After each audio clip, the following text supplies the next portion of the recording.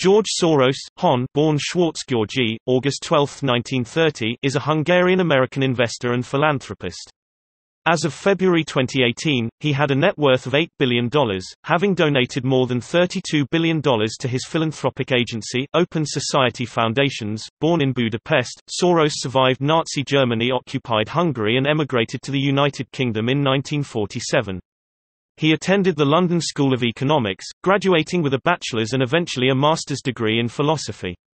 Soros began his business career by taking various jobs at merchant banks in the United Kingdom and then the United States, before starting his first hedge fund, Double Eagle, in 1969.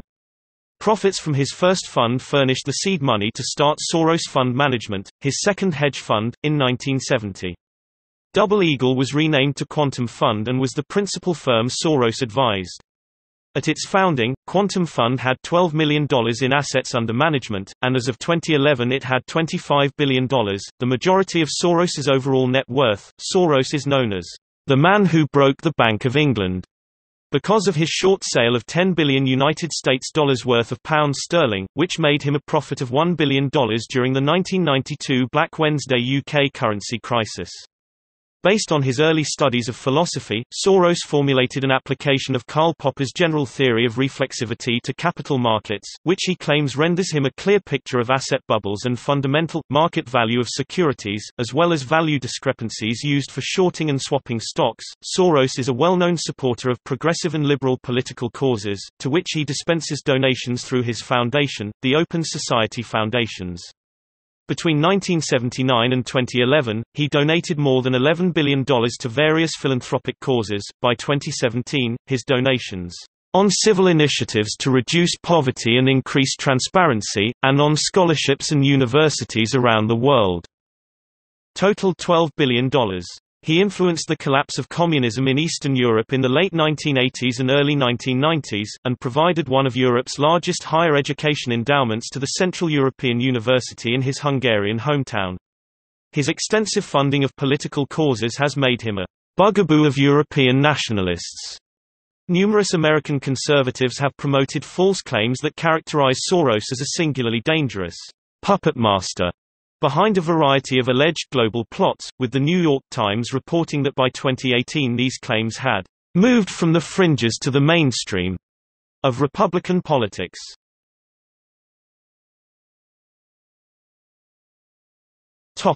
Early life and education Soros was born in Budapest in the Kingdom of Hungary to a prosperous non-observant Jewish family, who, like many upper-middle-class Hungarian Jews at the time, were uncomfortable with their roots. Soros has wryly described his home as a Jewish anti-Semitic home. His mother Erzsébet also known as Elizabeth, came from a family that owned a thriving silk shop. His father Tivadar also known as Teodoro Ŝvarc was a lawyer and a well-known Esperanto speaker editing a literary magazine Literatura Mondo who had also been a prisoner of war during and after World War I until he escaped from Russia and rejoined his family in Budapest. The two married in 1924. In 1936, Soros's family changed their name from the German Jewish Schwartz to Soros, as protective camouflage in increasingly anti-Semitic Hungary. Tivadar liked the new name because it is a palindrome and because of its meaning. In Hungarian, Soros means, next in line, or designated successor. In Esperanto it means, will soar. Soros was 13 years old in March 1944 when Nazi Germany occupied Hungary. The Nazis barred Jewish children from attending school, and Soros and the other schoolchildren were made to report to the Judenrat Jewish Council which had been established during the occupation. Soros later described this time to writer Michael Lewis. The Jewish Council asked the little kids to hand out the deportation notices. I was told to go to the Jewish Council. And there I was given these small slips of paper. I took this piece of paper to my father. He instantly recognized it. This was a list of Hungarian Jewish lawyers. He said, you deliver the slips of paper and tell the people that if they report they will be deported. Soros did not return to that job, his family survived the war by purchasing documents to say that they were Christians. Later that year at age 14, Soros posed as the Christian godson of an official of the collaborationist Hungarian government's Ministry of Agriculture, who himself had a Jewish wife in hiding. On one occasion, rather than leave the 14-year-old alone, the official took Soros with him while inventorizing a Jewish family's confiscated estate. Tivadar saved not only his immediate family but also many other Hungarian Jews, and Soros later wrote that 1944 had been the happiest year of his life for it had given him the opportunity to witness his father's heroism. In 1945, Soros survived the siege of Budapest, in which Soviet and German forces fought house to house through the city. In 1947, Soros immigrated to England and became a student at the London School of Economics. While a student of the philosopher Karl Popper, Soros worked as a railway porter and as a waiter, and once received £40 from a Quaker charity.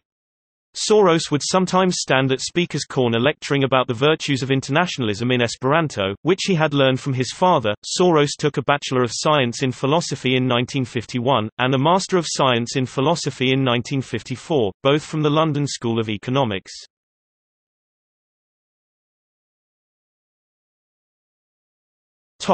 Investment career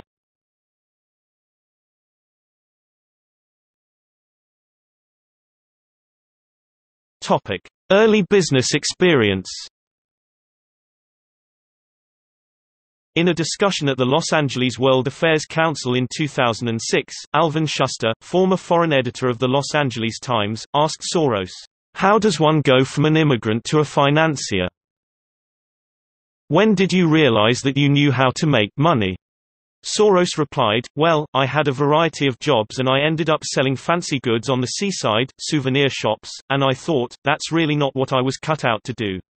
So, I wrote to every managing director in every merchant bank in London, got just one or two replies, and eventually that's how I got a job in a merchant bank. Topic Singer and Friedlander In 1954, Soros began his financial career at the merchant bank Singer and Friedlander of London. He worked as a clerk and later moved to the arbitrage department. A fellow employee, Robert Mayer, suggested he apply at his father's brokerage house, F.M. Mayer of New York.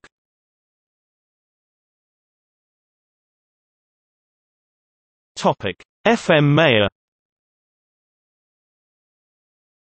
In 1956, Soros moved to New York City, where he worked as an arbitrage trader for F.M. Mayer 1956 -59.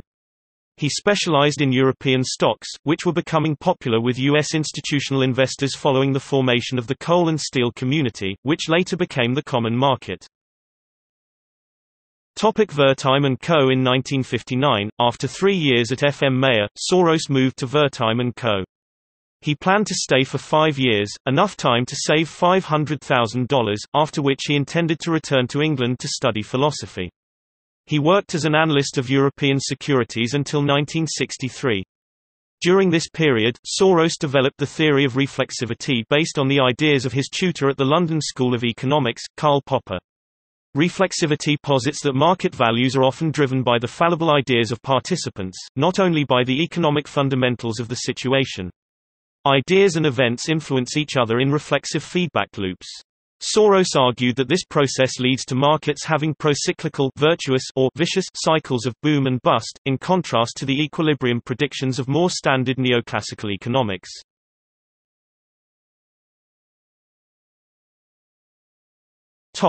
Arnhold and S. Bleichroeder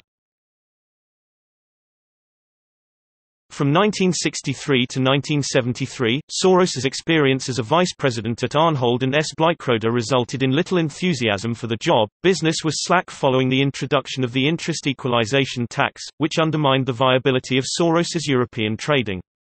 He spent the years from 1963 to 1966 with his main focus on the revision of his philosophy dissertation. In 1966 he started a fund with $100,000 of the firm's money to experiment with his trading strategies. However, he was primarily motivated by a desire to assert himself as an investor to profit from his reflexivity insights. In 1969, Soros set up the Double Eagle hedge fund with $4 million of investors' capital, including $250,000 of his own money. It was based in Curaçao, Dutch Antilles. Double Eagle itself was an offshoot of Arnhold and S. Bleichroeder's first Eagle Fund established by Soros and that firm's chairman Henry H. Arnhold in 1967. In 1973, the Double Eagle Fund had $12 million and formed the basis of the Soros Fund. George Soros and Jim Rogers received returns on their share of capital and 20% of the profits each year.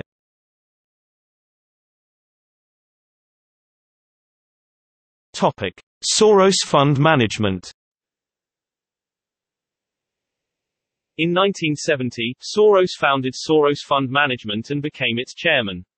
Among those who held senior positions there at various times were Jim Rogers, Stanley Druckenmiller, Mark Schwartz, Keith Anderson, and Soros's two sons. In 1973, due to perceived conflicts of interest limiting his ability to run the two funds, Soros resigned from the management of the Double Eagle Fund. He then established the Soros Fund and gave investors in the Double Eagle Fund the option of transferring to that or staying with Arnhold and S. Bleichroeder.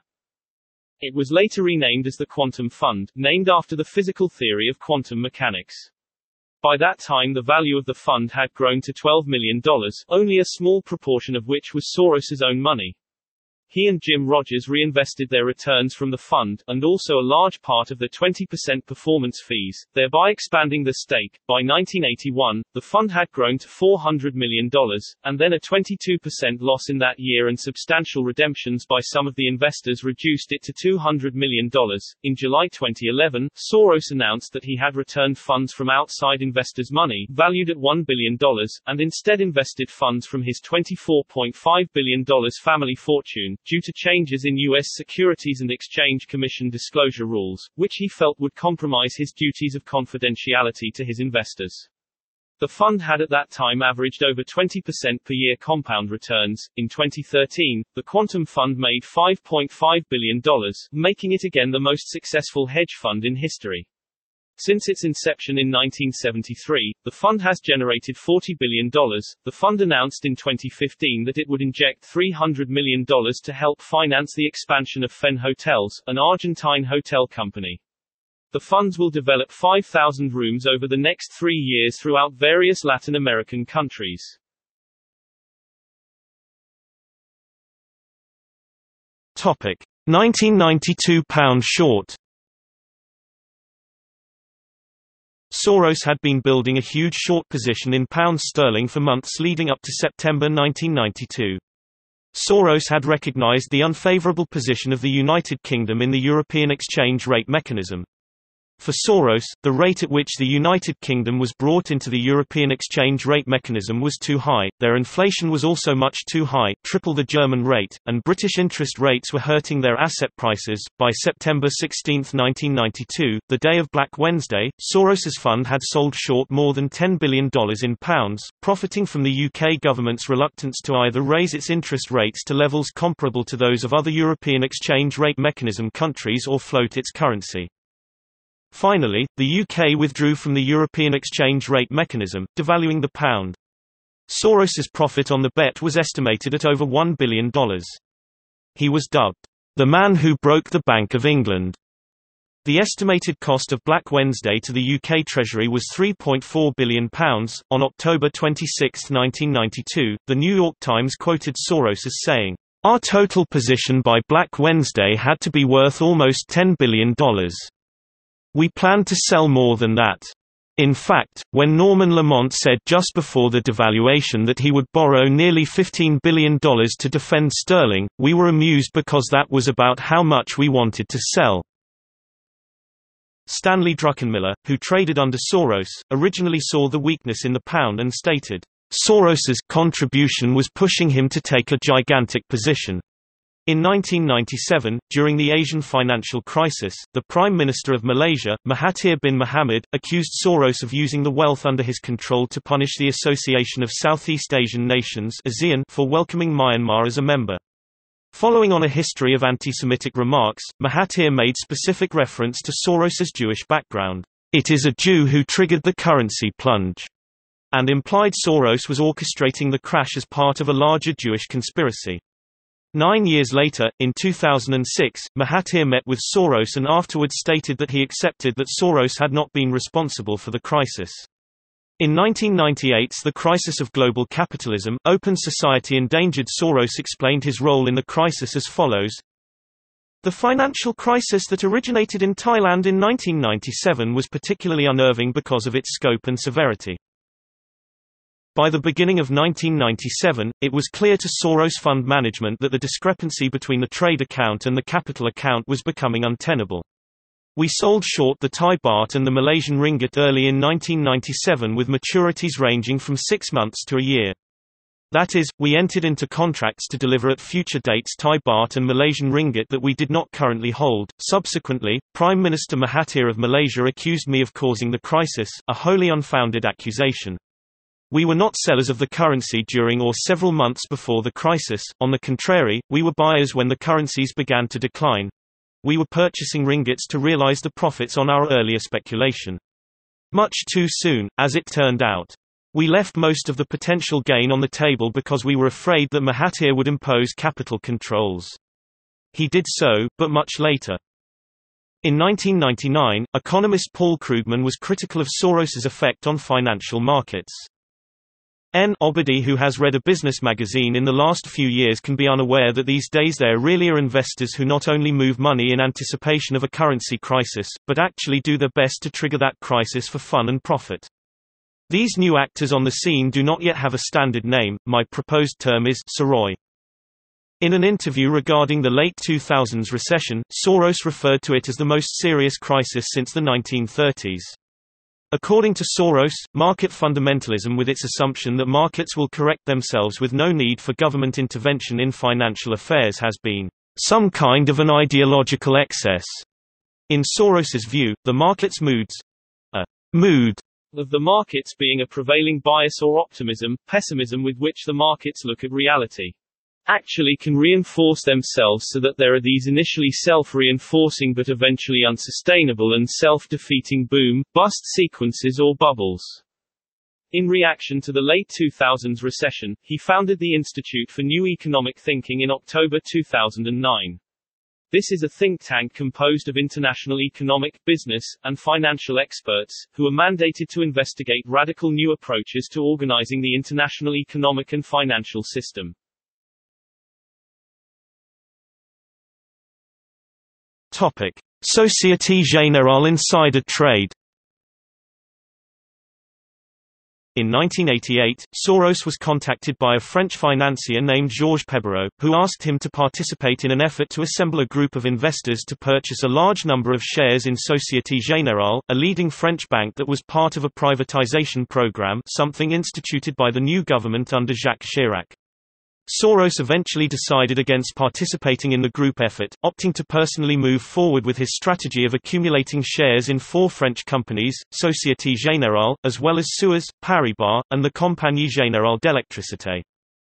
In 1989, the Commission des Opérations de Bourse (COB), the French stock exchange regulatory authority, conducted an investigation of whether Soros's transaction in Société Générale should be considered insider trading. Soros had received no information from the Société Générale and had no insider knowledge of the business, but he did possess knowledge that a group of investors was planning a takeover attempt. Initial investigations found Soros innocent, and no charges were brought forward.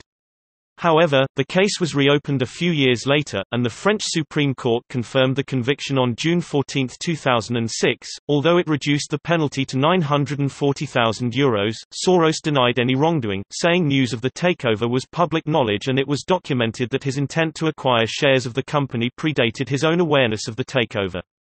In December 2006, he appealed to the European Court of Human Rights on various grounds, including that the 14-year delay in bringing the case to trial precluded a fair hearing. On the basis of Article 7 of the European Convention on Human Rights, stating that no person may be punished for an act that was not a criminal offence at the time that it was committed, the court agreed to hear the appeal. In October 2011, the court rejected his appeal in a 4-3 decision, saying that Soros had been aware of the risk of breaking insider trading laws.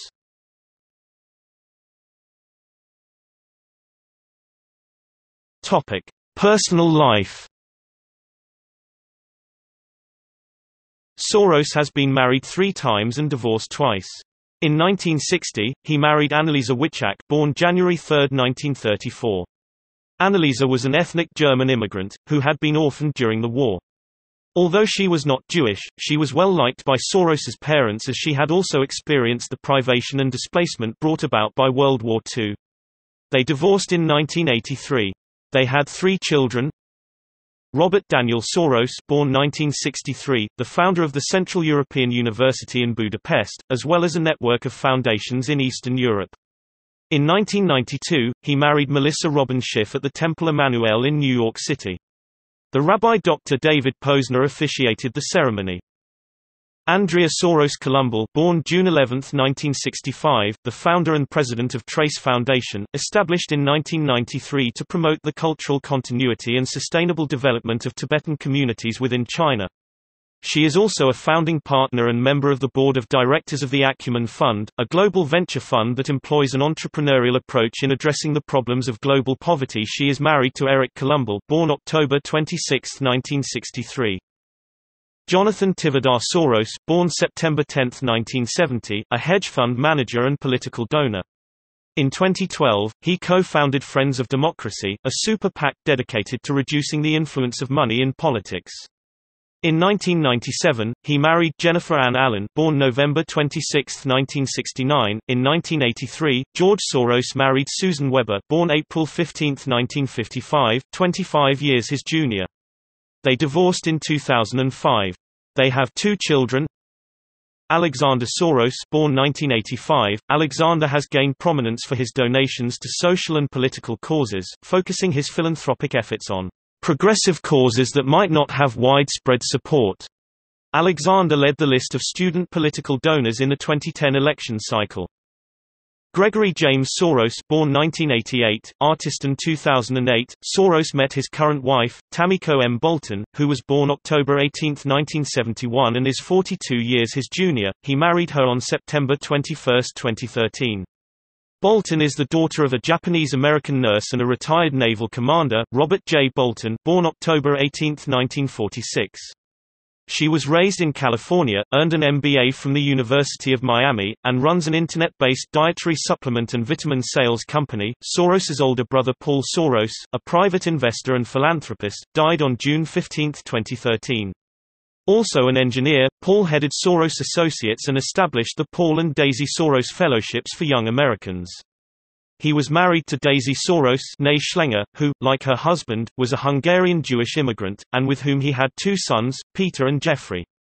Peter Soros was married to the former Flora Fraser, a daughter of Lady Antonia Fraser and the late Sir Hugh Fraser and a stepdaughter of the late 2005 Nobel laureate Harold Pinter.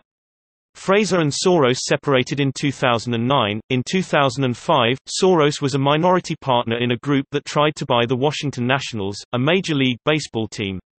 Some Republican lawmakers suggested that they might move to revoke Major League Baseball's antitrust exemption if Soros bought the team. In 2008, Soros's name was associated with AS Roma, an Italian association football team, but the club was not sold. Soros was a financial backer of Washington Soccer LP, the group that owned the operating rights to Major League Soccer club DC United when the league was founded in 1995, but the group lost these rights in 2000. On August 21, 2012, BBC reported SEC filings showing Soros acquired roughly a 1.9% stake in English football club Manchester United through the purchase of 3.1 million of the club's Class A shares.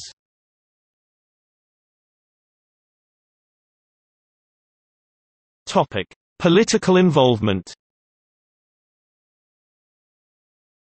Soros was not a large donor to U.S. political causes until the 2004 presidential election, but according to the Center for Responsive Politics, during the 2003-2004 election cycle, Soros donated $23,581,000 to various 527 groups tax-exempt groups under the United States Tax Code, 26 U.S.C. Section 527.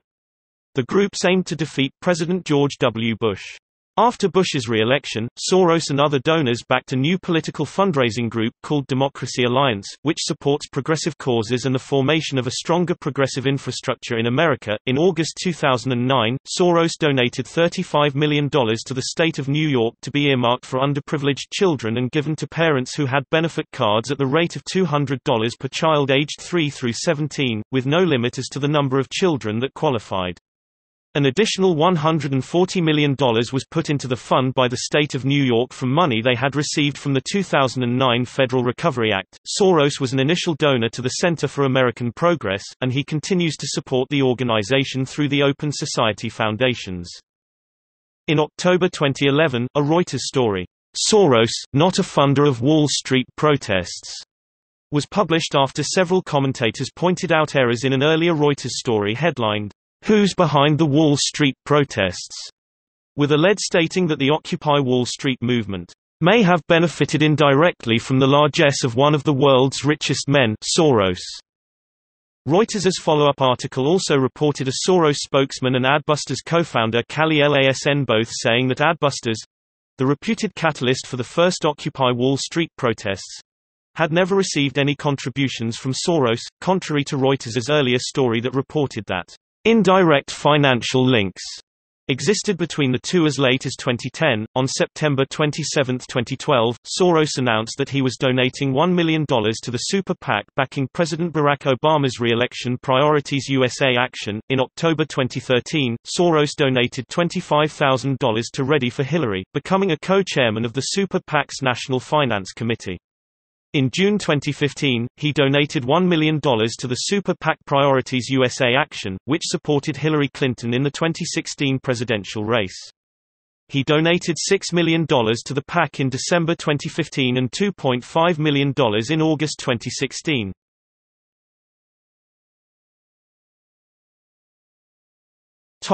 Central and Eastern Europe According to Waldemar A. Nielsen, an authority on American philanthropy, Soros has undertaken nothing less than to open up the once closed communist societies of Eastern Europe to a free flow of ideas and scientific knowledge from the outside world. From 1979, as an advocate of open societies, Soros financially supported dissidents including Poland's Solidarity Movement, Charter 77 in Czechoslovakia and Andrei Sakharov in the Soviet Union. In 1984, he founded his first Open Society Institute in Hungary with a budget of $3 million. Since the fall of the Soviet Union, Soros funding has continued to play an important role in the former Soviet sphere.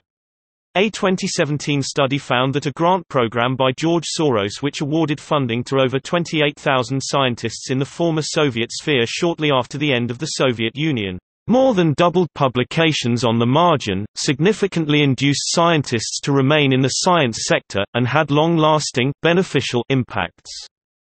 His funding of pro-democratic programs in Georgia was considered by Georgian nationalists to be crucial to the success of the Rose Revolution, although Soros has said that his role has been greatly exaggerated. Alexander Lomaia, Secretary of the Georgian Security Council and former Minister of Education and Science, is a former executive director of the Open Society Georgia Foundation Soros Foundation, overseeing a staff of 50 and a budget of $2.5 million. Former Georgian Foreign Minister Salome Zourabichvili wrote that institutions like the Soros Foundation were the cradle of democratization and that all the NGOs that gravitated around the Soros Foundation undeniably carried the revolution. She opines that after the revolution the Soros Foundation and the NGOs were integrated into power. Some Soros-backed pro-democracy initiatives have been banned in Kazakhstan and Turkmenistan.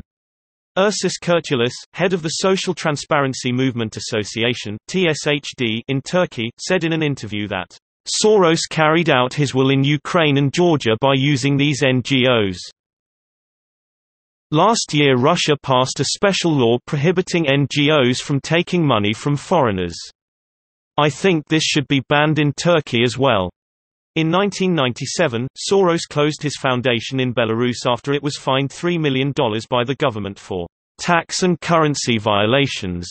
According to the New York Times, the Belarusian president Alexander Lukashenko has been widely criticized in the West and in Russia for his efforts to control the Belarus Soros Foundation and other independent NGOs and to suppress civil and human rights. Soros called the fines part of a campaign to destroy independent society. In June 2009, Soros donated $100 million to Central Europe and Eastern Europe to counter the impact of the economic crisis on the poor, voluntary groups and non-government organizations. Since 2012 the Hungarian Fidesz government labeled George Soros as enemy of the state due to his humanitarian and political involvement in the European refugee crisis.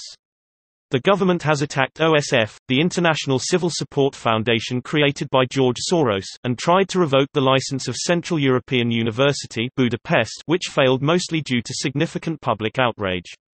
In response Soros called the government, a mafia state. As the 2018 election period started the government introduced public posters with the photo of Soros, to create hostility in the general public towards him, using statements such as, Soros wants millions of migrants to live in Hungary. And Soros wants to dismantle the border fence. The government also prepared a three-part law plan called Stop Soros Package, which followed other various law changes in the same year which hindered workings of several international NGOs in Hungary, which would include various steps against NGOs doing volunteer work related to the refugee crisis. Soros left most of these attacks without comments apart from a few short statements about the invalidity of the accusations. In March 2017, six U.S. senators sent a letter to then Secretary of State Rex Tillerson asking that he look into several grants the State Department and the U.S. Agency for International Development USAID have given to groups funded by left-wing Soros. According to the Heritage Foundation, the letter expressed specific concern about Soros' influence on Macedonian politics, a concern which has also been expressed by members of the conservative Macedonian government. In the same context, Judicial Watch has filed a Freedom of Information Act FOIA lawsuit against the U.S. Department of State and USAID compelling them to release records regarding $5 million transferred from USAID to Soros Open Society branch in Macedonia. The suit alleges that the money was deliberately used to destabilize the Macedonian government. In January 2017, the Stop Operation Soros SOS initiative was launched in Macedonia. SOS seeks to present questions and answers about the way Soros operates worldwide and invites citizens to contribute to the research. In a press conference held during the same month, Nenad Masevsky, one of the founders of the initiative, stated that SOS would work towards the De-Sorosization of Macedonia. On May 16, 2018, Soros Open Society Foundations announced they will move its office from Budapest to Berlin, blaming the move on an increasingly repressive environment in Hungary.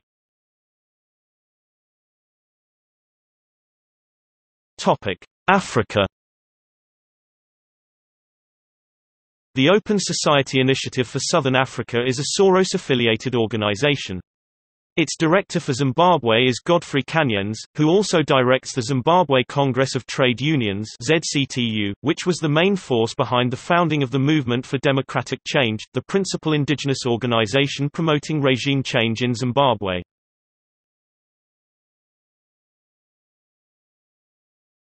Topic: Support of separatist movements. In November 2005, Soros said, my personal opinion is there's no alternative but to give Kosovo independence. Soros has helped fund the non-profit group called Independent Diplomat. It represented Kosovo, the Turkish Republic of Northern Cyprus under military occupation by Turkey since 1974, Somaliland and the Polisario Front of Western Sahara.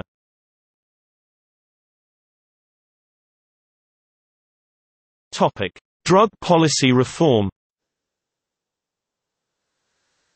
Soros has funded worldwide efforts to promote drug policy reform. In 2008, Soros donated $400,000 to help fund a successful ballot measure in Massachusetts known as the Massachusetts Sensible Marijuana Policy Initiative which decriminalized possession of less than 1 ounce 28 grams of marijuana in the state. Soros has also funded similar measures in California, Alaska, Oregon, Washington, Colorado, Nevada and Maine. Among the drug decriminalization groups that have received funding from Soros are the Lindesmith Center and Drug Policy Foundation. Soros donated $1.4 million to publicity efforts to support California's Proposition 5 in 2008, a failed ballot measure that would have expanded drug rehabilitation programs as alternatives to prison for persons convicted of nonviolent drug-related offenses. In October 2010, Soros donated $1 million to support California's Proposition 19, according to remarks in an interview in October 2009. It is Soros' opinion that marijuana is less addictive but not appropriate for use by children and students. He himself has not used marijuana for years. Soros has been a major financier of the Drug Policy Alliance, an organization that promotes cannabis legalization, with roughly $4 million in annual contributions from one of his foundations.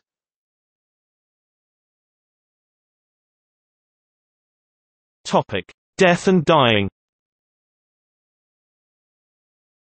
The Project on Death in America, active from 1994 to 2003, was one of the Open Society Institute's projects, which sought to understand and transform the culture and experience of dying and bereavement. In 1994, Soros delivered a speech in which he reported that he had offered to help his mother, a member of the Right to Die advocacy organization Hemlock Society, commit suicide. In the same speech, he also endorsed the Oregon Death with Dignity Act, proceeding to help fund its advertising campaign.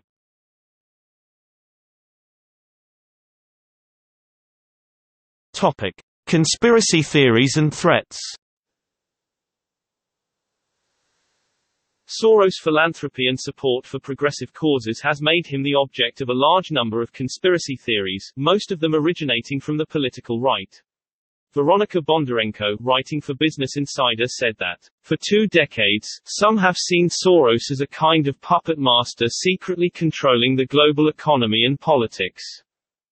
The New York Times describes the allegations as moving from the dark corners of the Internet and talk radio to the very center of the political debate. By 2018, Soros has become a magnet for such theories, with opponents claiming that he is behind such diverse events as the 2017 Women's March, the fact-checking website Snopes, the gun control activism engaged in by the survivors of the Stoneman Douglas High School shooting, the October 2018 immigrant caravans, and the protests against then Supreme Court nominee Brett Kavanaugh. Conservatives, meanwhile, picked up on the thread in the late 2000s, spearheaded by Fox News. Bill O'Reilly gave an almost 10-minute monologue on Soros in 2007, calling him an extremist and claiming he was off the charts dangerous. The Breitbart News website, according to the London Times journalist, David Aaronovitch, in promoting East European nationalism, has regularly published articles blaming Soros for anything of which it disapproves. Soros' opposition to Brexit in the United Kingdom led to a front page on the British Conservative supporting newspaper, The Daily Telegraph in February 2018, which was accused of anti-Semitism for claiming he was involved in a supposed secret plot for the country's voters to reverse their decision to leave the European Union. While the Telegraph did not mention Soros is Jewish, his opposition to Britain leaving the European Union had been reported elsewhere in less conspiratorial terms. Stephen Pollard, editor of the Jewish Chronicle, said on Twitter, The point is that language matters so much and this is exactly the language being used by anti-Semites here and abroad. After being ousted from office in the wake of the Panama Papers scandal of 2016, Icelandic Prime Minister Sigmundur Davíð Gunnlaugsson accused Soros of having bankrolled a conspiracy to remove him from power. It was later pointed out that Soros himself had also been implicated in the Panama Papers, casting doubt on the Prime Minister's theory. Right wing figures such as Alex Jones, Roseanne Barr, Donald Trump Jr., James Woods, Dinesh D'Souza, and Louis Gohmert have spread a false conspiracy theory, which has been described as anti Semitic, that Soros was a Nazi collaborator who turned in other Jews and stole their property. Soros was a child during World War II who had to hide from the Hungarian government during Nazi occupation. In October 2018, Soros was accused of funding a Central American migrant caravan heading toward America. The theory that Soros was somehow causing Central American migration at the southern U.S. border apparently dates back to late March 2018, however. The October 2018 strain of the theory has been described to combine antisemitism, anti-immigrant sentiment and the specter of powerful foreign agents controlling major world events in pursuit of a hidden agenda. Connecting Soros and other wealthy individuals of Jewish faith or background to the October Caravan. Both Cesar Sayoc, the perpetrator of the October 2018 attempted bombings of prominent Democrats, and Robert Bowers, the perpetrator of the Pittsburgh synagogue shooting, referred to this conspiracy theory on social media before their crimes. In November 2018, Turkish President Recep Tayyip Erdogan denounced Soros while speaking about Turkey's political purges, saying, the person Kavala, who financed terrorists during the Gezi incidents is already in prison. And who is behind him? The famous Hungarian Jew Soros. This is a man who assigns people to divide nations and shatter them.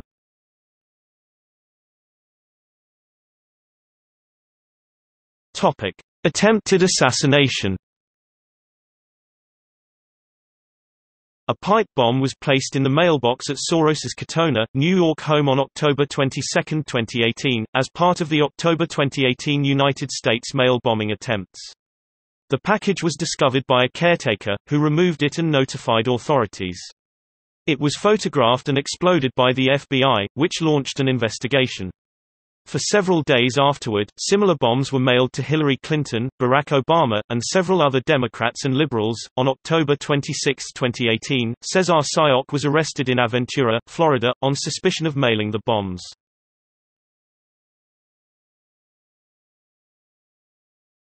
Topic: Political and economic views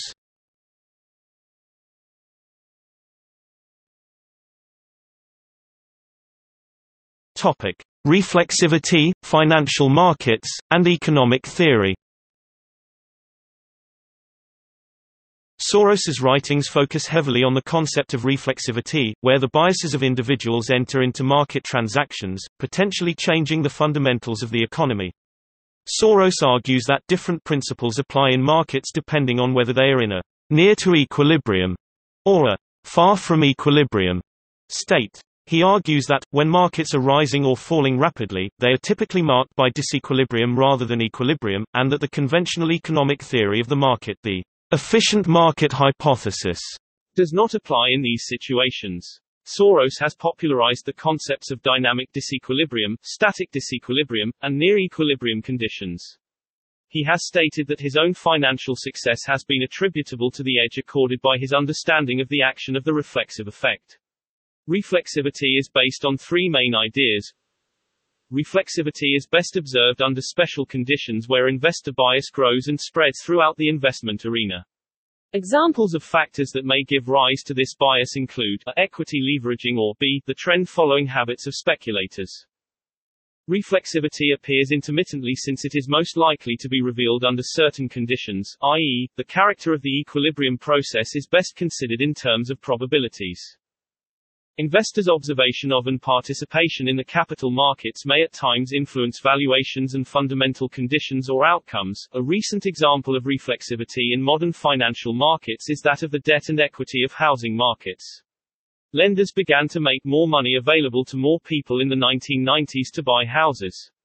More people bought houses with this larger amount of money, thus increasing the prices of these houses.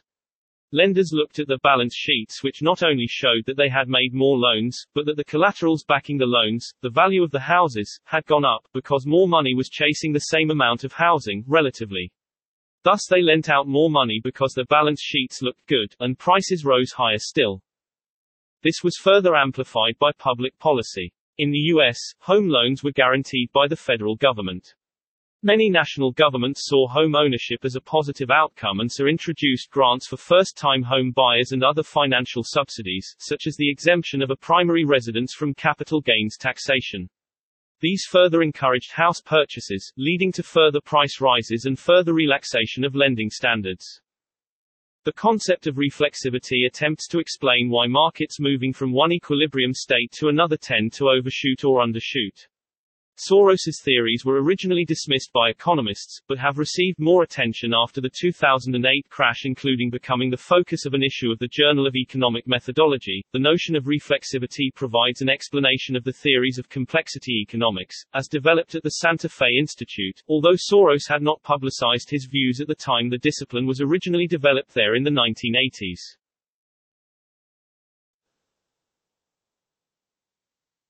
Topic: Reflexivity in politics. Although the primary manifestation of the reflexive process that Soros discusses is its effects in the financial markets, he has also explored its effects in politics. He has stated that whereas the greatest threats to the open society in the past were from communism and fascism, as discussed in the Open Society and its enemies by his mentor Karl Popper, the largest current threat is from market fundamentalism. He has suggested that the contemporary domination of world politics and world trade by the United States is a reflexive phenomenon, insofar as the success of military and financial coercion feeds back to encourage increasingly intense applications of the same policies to the point where they will eventually become unsustainable.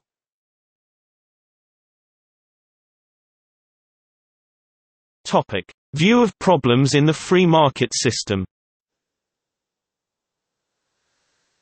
Soros argues that the current system of financial speculation undermines healthy economic development in many underdeveloped countries.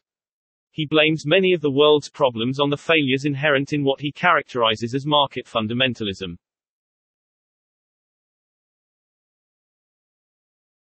Topic: Market predictions.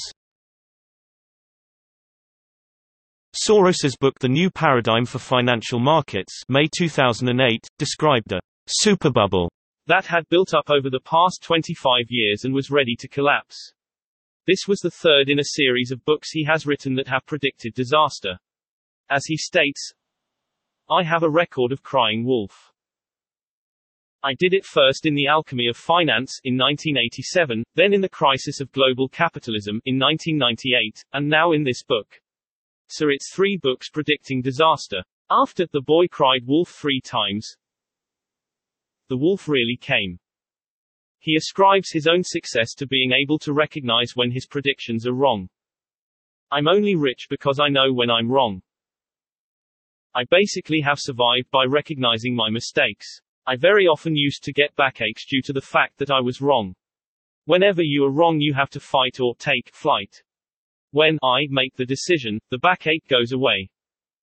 In February 2009, Soros said the world financial system had in effect disintegrated, adding that there was no prospect of a near-term resolution to the crisis. We witnessed the collapse of the financial system. It was placed on life support, and it's still on life support. There's no sign that we are anywhere near a bottom. In January 2016, at an economic forum in Sri Lanka, Soros predicted a financial crisis akin to 2008 based on the state of the global currency, stock and commodity markets as well as the sinking Chinese yuan. China has a major adjustment problem. I would say it amounts to a crisis. When I look at the financial markets there is a serious challenge which reminds me of the crisis we had in 2008.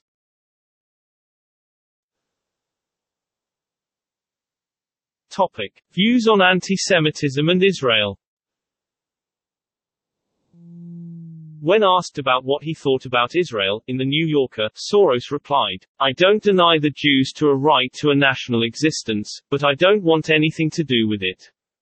According to hacked emails released in 2016, Soros's Open Society Foundation has a self-described objective of challenging Israel's racist and anti-democratic policies in international forums, in part by questioning Israel's reputation as a democracy.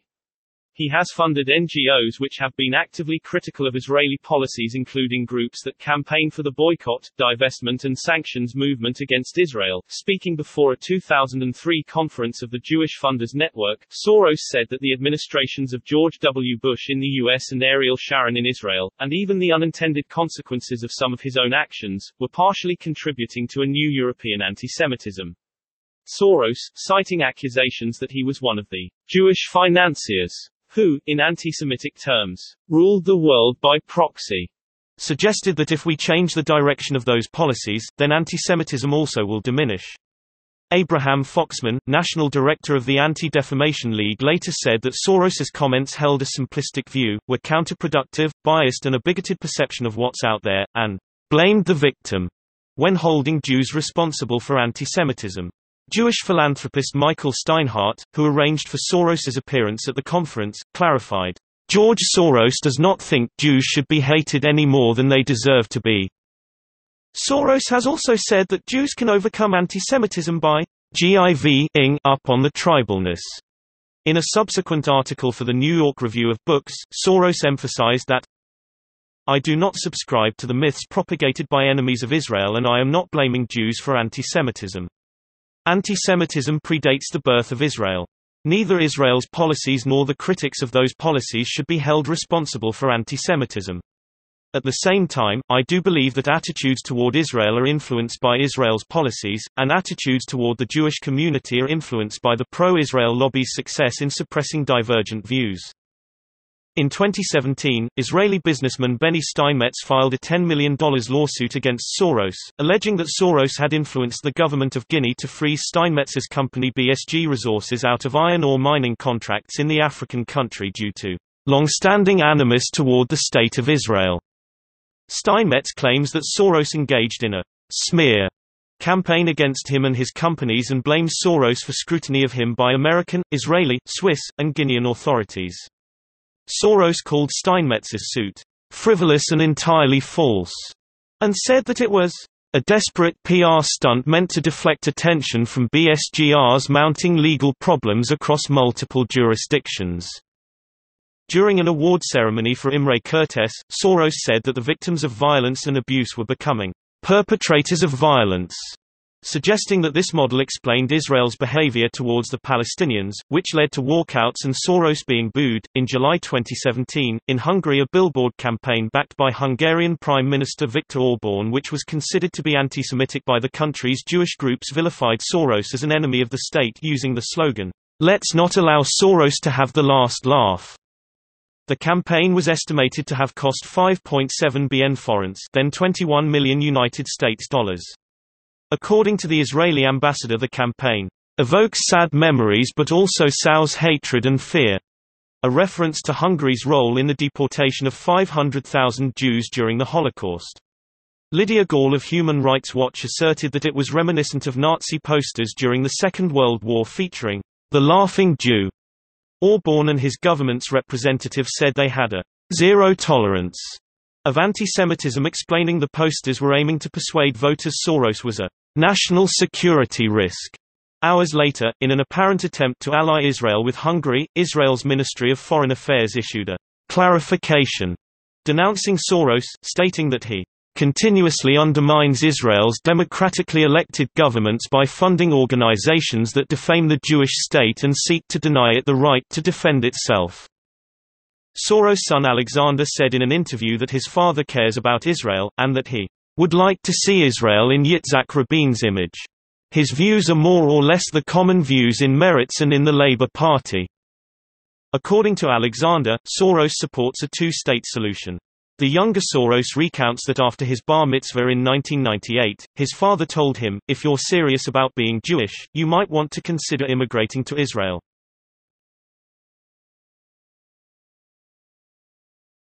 Topic: Views on the U.S. On November 11, 2003, in an interview with The Washington Post, Soros said that removing President George W. Bush from office was the central focus of my life, and a matter of life and death.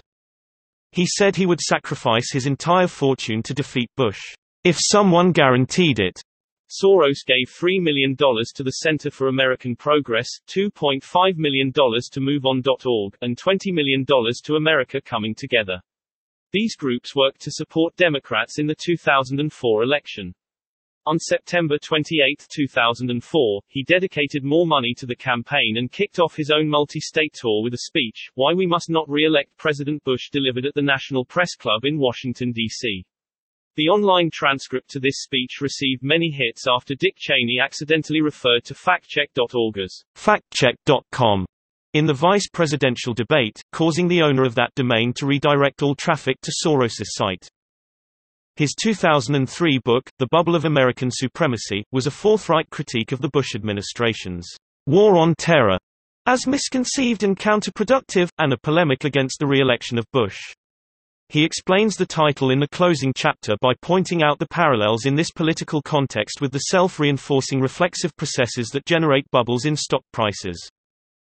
When Soros was asked in 2006 about his statement in The Age of Fallibility that, "...the main obstacle to a stable and just world order is the United States," He responded that, "...it happens to coincide with the prevailing opinion in the world.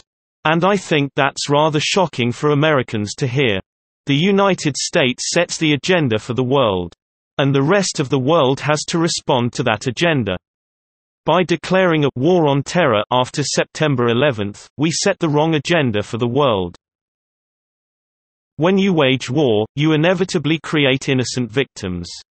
Soros described Donald Trump as a con man.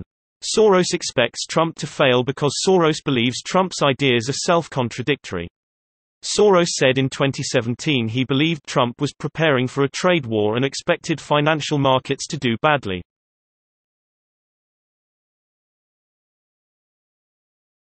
Topic: Views on Europe. In October 2011, Soros drafted an open letter entitled, As Concerned Europeans we urge Eurozone leaders to unite, in which he calls for a stronger economic government for Europe using federal means, common EU treasury, common fiscal supervision, etc., and warns against the danger of nationalistic solutions to the economic crisis. The letter was co-signed by Javier Solana, Daniel Cohn-Bendit, Andrew Duff, Emma Bonino, Massimo D'Alema, Vaira Vīķe-Freiberga. Soros criticized Hungarian Prime Minister Viktor Orban and his handling of the European migrant crisis in 2015. His plan treats the protection of national borders as the objective and the refugees as an obstacle. Our plan treats the protection of refugees as the objective and national borders as the obstacle. Soros expects that Brexit will fail and the premiership of Theresa May will last only a short time. Soros is opposed to Brexit and has donated £400,000 to the anti-Brexit, Best for Britain group. Soros also hosted a dinner for conservative donors at his London home to encourage them to follow his lead. Soros's Open Society foundations also donated a total of £303,000 to two pro-EU organisations, the European Movement UK and Scientists for EU, and a centre-right think tank, Bright Blue. In 2018, Soros has highlighted that Europe faces major challenges, in particular, that related to immigration, austerity, and nations leaving the political bloc. He holds that Europe is facing an existential crisis, in view of the rise of populism, the refugee crisis and a growing rift between Europe and the United States. Soros has also stated that, The euro has many unresolved problems, which must not be allowed to destroy the European Union. He advocated replacing the notion of a multi-speed Europe by the aim of a multi-track Europe that would allow member states a wider variety of choices.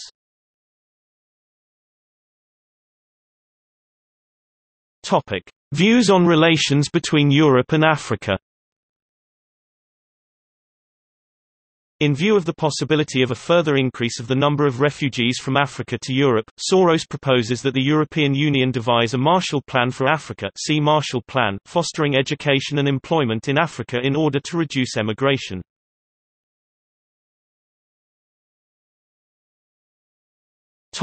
Views on China Soros has expressed concern about the growth of Chinese economic and political power, saying, China has risen very rapidly by looking out for its own interests. They have now got to accept responsibility for world order and the interests of other people as well. Regarding the political gridlock in America, he said, Today, China has not only a more vigorous economy but actually a better functioning government than the United States.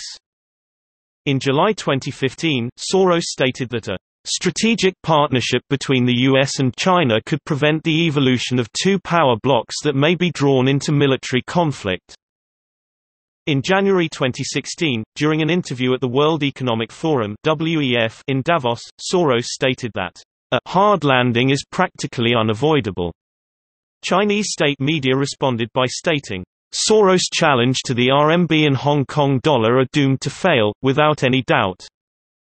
In January 2019, Soros used his annual speech at the World Economic Forum, in Davos, to label Xi Jinping, the president of China, as the most dangerous opponent of open societies, saying, China is not the only authoritarian regime in the world but it is the wealthiest, strongest and technologically most advanced. He also urged the United States not to allow the Chinese technology companies Huawei and ZTE to dominate the 5G telecommunications market as this would present an unacceptable security risk for the rest of the world. Soros also criticized the newest form of China's Big Brother-like system of mass surveillance called the social credit system, saying it would give Xi total control over the people of China. Topic: Views on Russia and Ukraine. In May 2014, Soros told CNN's Fareed Zakaria, I set up a foundation in Ukraine before Ukraine became independent from Russia. And the foundation has been functioning ever since and played an important part in events now. In January 2015, Soros said that, Europe needs to wake up and recognize that it is under attack from Russia. He also urged Western countries to expand economic sanctions against Russia for its support of separatists in eastern Ukraine. In January 2015, Soros called on the European Union to give $50 billion of bailout money to Ukraine. In July 2015, Soros stated that Putin's annexation of Crimea was a challenge to the prevailing world order, specifically the European Union. He hypothesized that Putin wants to destabilize all of Ukraine by precipitating a financial and political collapse for which he can disclaim responsibility, while avoiding occupation of a part of eastern Ukraine, which would then depend on Russia for economic support. In November 2015, Russia banned the Open Society Foundations (OSF) and the Open Society Institute (OSI), two pro-democracy charities founded by Soros, stating they posed a threat to the foundations of the constitutional system of the Russian Federation and the security of the state. In January 2016, 53 books related to Soros's renewal of humanitarian education program were withdrawn at the Vorkuta Mining and Economic College in the Komi Republic, with 427 additional books seized for shredding. A Russian intergovernmental letter released in December 2015 stated that Soros's charities were forming a perverted perception of history and making ideological directives, alien to Russian ideology, popular. Most of these books were published with funds donated by Soros's charities.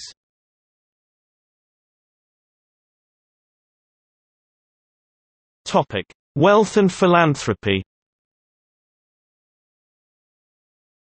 As of February 2017, Forbes magazine listed Soros as the 29th richest person in the world, the world's richest hedge fund manager, and 19th on its list of the 400 wealthiest Americans, with a net worth estimated at $25.2 billion. This was after Soros had lost almost $1 billion in the weeks after the election of Republican Donald Trump as U.S. President in 2016. Soros has been active as a philanthropist since the 1970s, when he began providing funds to help black students attend the University of Cape Town in apartheid South Africa, and began funding dissident movements behind the Iron Curtain. Soros's philanthropic funding includes efforts to promote nonviolent democratization in the post-Soviet states. These efforts, mostly in Central and Eastern Europe, occur primarily through the Open Society Foundations originally Open Society Institute or OSI and National Soros Foundations, which sometimes go under other names such as the Stefan Batory Foundation in Poland. As of 2003, PBS estimated that he had given away a total of $4 billion. The OSI says it has spent about $500 million annually in recent years. In 2003, former Federal Reserve Chairman Paul Volcker wrote in the foreword of Soros's book The Alchemy of Finance, George Soros has made his mark as an enormously successful speculator, wise enough to largely withdraw when still way ahead of the game. The bulk of his enormous winnings is now devoted to encouraging transitional and emerging nations to become open societies. Open not only in the sense of freedom of commerce but, more important, tolerant of new ideas and different modes of thinking and behavior. Time magazine in 2007 cited two specific projects, $100 million toward Internet infrastructure for regional Russian universities, and $50 million for the Millennium Promise to eradicate extreme poverty in Africa, noting that Soros had given $742 million to projects in the U.S., and given away a total of more than $7 billion. Other notable projects have included aid to scientists and universities throughout Central and Eastern Europe, help to civilians during the siege of Sarajevo, and Transparency International. Soros also pledged an endowment of €420 million Euros to the Central European University CEU.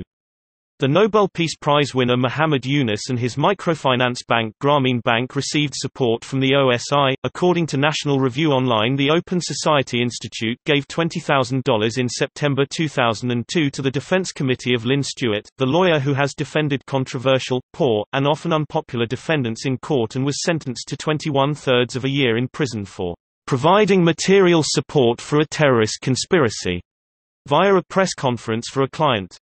An OSI spokeswoman said, It appeared to us at that time that there was a right to counsel issue worthy of our support but claimed later requests for support were declined. In September 2006, Soros pledged $50 million to the Millennium Promise, led by economist Jeffrey Sachs to provide educational, agricultural, and medical aid to help villages in Africa enduring poverty. The New York Times termed this endeavor a departure for Soros whose philanthropic focus had been on fostering democracy and good government, but Soros noted that most poverty resulted from bad governance. Soros played a role in the peaceful transition from communism to democracy in Hungary 1984 89 and provided a substantial endowment to Central European University in Budapest. The Open Society Foundations has active programs in more than 60 countries around the world with total expenditures currently averaging approximately $600 million a year. On October 17, 2017, it was announced that Soros had transferred $18 billion to the Open Society Foundations. In October 2018, Soros donated $2 million to the Wikimedia Foundation via the Wikimedia Endowment Program.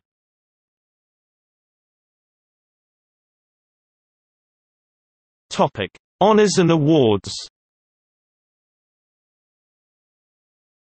Soros received honorary doctoral degrees from the New School for Social Research New York, the University of Oxford in 1980, the Corvinus University of Budapest, and Yale University in 1991.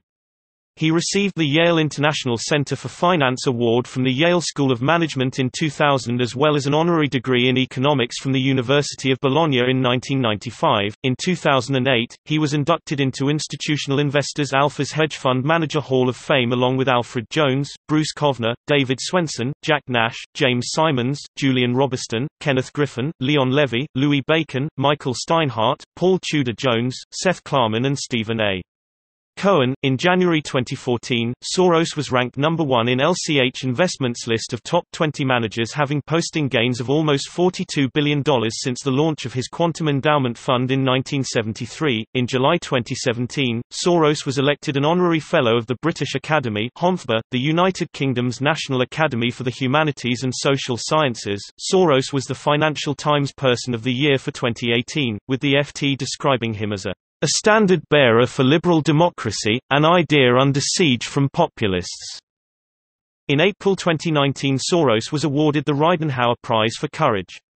In his acceptance address Soros said, In my native Hungary, the government of Prime Minister Viktor Orban has turned me into the supervillain of an alleged plot to destroy the supposed Christian identity of the Hungarian nation. I donate the prize money associated with this award to the Hungarian Spectrum, an online English-language publication that provides daily updates on Hungarian politics. It renders an important service by exposing to the world in English what Prime Minister Viktor Orban is telling his own people in Hungarian. It Hungarian Spectrum deserves to be better known and supported.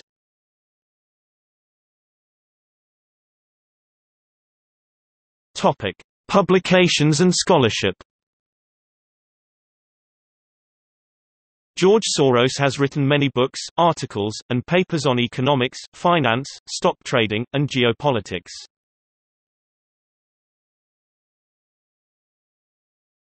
Topic: Books authored or co-authored. The Tragedy of the European Union: Disintegration or Revival. Public Affairs, 2014. ISBN 978 one 61039 421 5 Financial Turmoil in Europe and the United States, Essays Public Affairs, 2012. ISBN 978-1-61039-161-0. The Soros Lectures at the Central European University Public Affairs, 2010. ISBN 978 one 58648 885 7 The New Paradigm for Financial Markets, The Credit Crisis of 2008 and What It Means Public Affairs, 2008. ISBN 978-1-58648-683-9. The Age of Fallibility, Consequences of the War on Terror, Public Affairs, 2006 ISBN 978-1-58648-359-3. Underwriting Democracy, Encouraging Free Enterprise and Democratic Reform Among the Soviets and in Eastern Europe Free Press, 1991 ISBN 978-0-02-930285-9 Paperback, Public Affairs, 2004, ISBN 978-1-58648-227-5 George Soros on Globalization, Public Affairs, 2002 ISBN 978-1-58648-125-4 Paperback, Public Affairs, 2005 ISBN 978-1-58648-278-7 the Bubble of American Supremacy, Correcting the Misuse of American Power, Public Affairs, 2003 ISBN 978-1-58648-217-6 Paperback, Public Affairs, 2004, ISBN 978-1-58648-292-3 Open Society, Reforming Global Capitalism, Public Affairs, 2001 ISBN 978-1-58648-019-6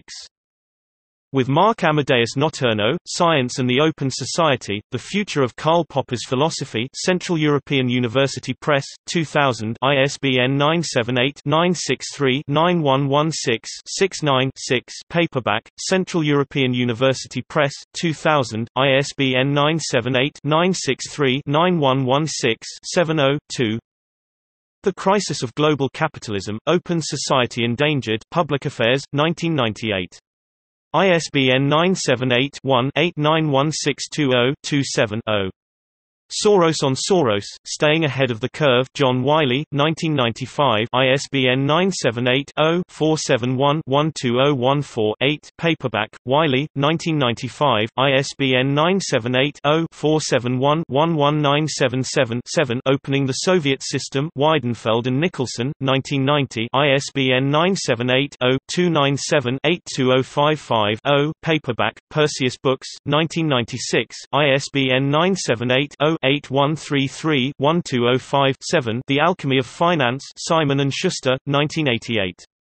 ISBN 978-0-671-66238-7 Paperback, Wiley, 2003, ISBN 978-0-471-44549-4 Topic. Journalism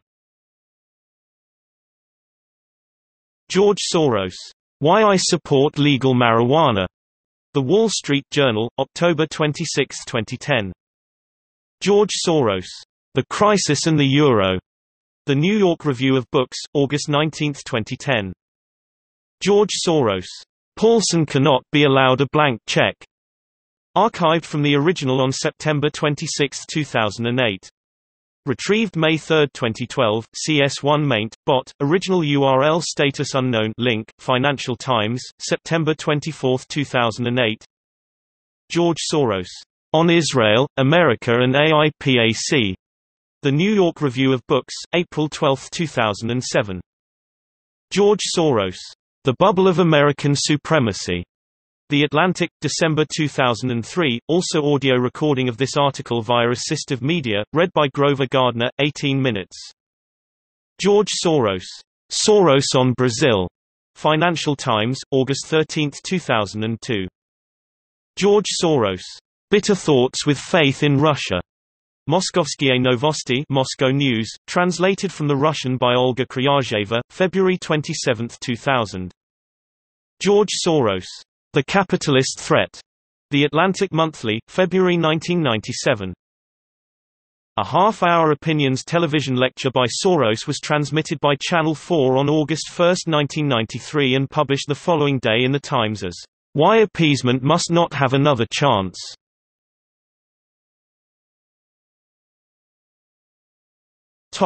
See also